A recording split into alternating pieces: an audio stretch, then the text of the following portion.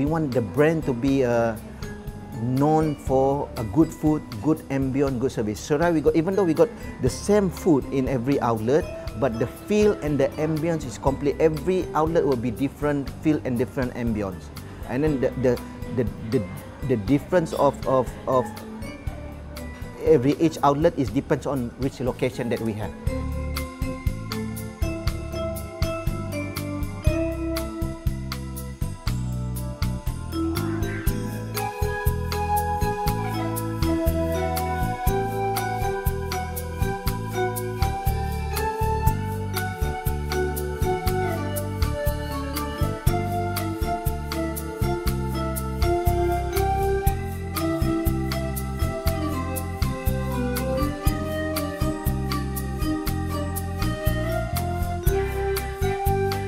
Hi, I'm Chef Najib. I'm the executive chef for Serai Group, the Serai Pavilion.